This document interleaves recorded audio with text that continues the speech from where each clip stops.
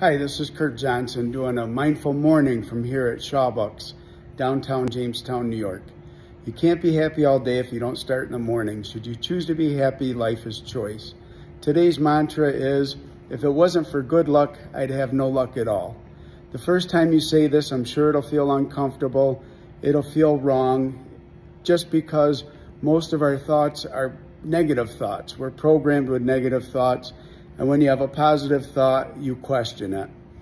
So if it is true that what you think about, you bring about, why wouldn't you feel that if it wasn't for good luck, I wouldn't have any at all? Even though at times you'll feel bad luck, the bad luck is just showing you that there's a better, better choice in store for you coming your way.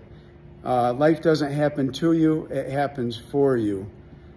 Think about good luck even when it feels like bad luck, better things are coming your way.